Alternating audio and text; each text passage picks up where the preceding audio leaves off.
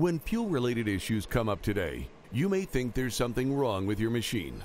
The truth is, it might be your fuel. First, let's get a better understanding of Tier 4 engine technology.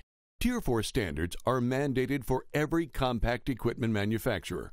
They've all introduced engine emission technology that include high pressure fuel systems and exhaust after treatment systems.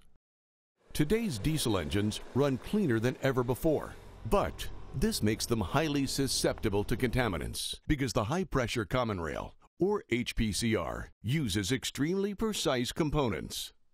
Fuel pressures have risen dramatically to as high as 30,000 psi. If contaminants are in the fuel, when they're combined with high pressure, erosion will occur and cause a variety of problems. So, clean fuel is critical for today's engines.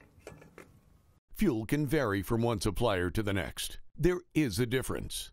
As engines have been undergoing radical design changes, the fuel industry has also seen some mandates. They're now required to remove almost all sulfur from diesel.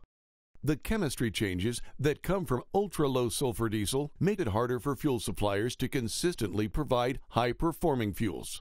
Plus, their refining techniques and additives vary from supplier to supplier. Current fuel standards just don't address the cleanliness needed for HPCR engines. Also, if you use biodiesel, you should be aware that it requires more frequent fuel filter changes.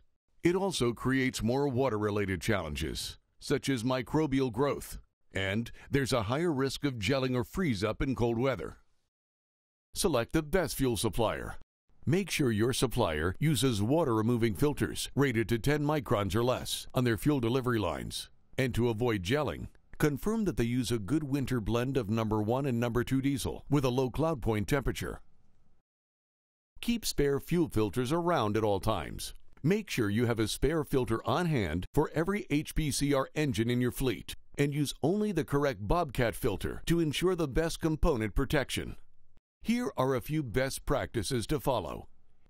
Refill each machine's fuel tank at the end of a work shift. This will help to reduce condensation. Use clean fuel cans, dedicated for diesel only, and store them inside. Drain the machine's fuel filter water trap daily. Make sure you follow all cold weather starting procedures. And if you use additives, use only Bobcat approved fuel additives a proactive fuel management strategy will help ensure reliable performance and prevent unexpected issues caused by fuel contaminants. Ask your dealer about Bobcat sponsored fuel clinics or learn more from the research section on bobcat.com.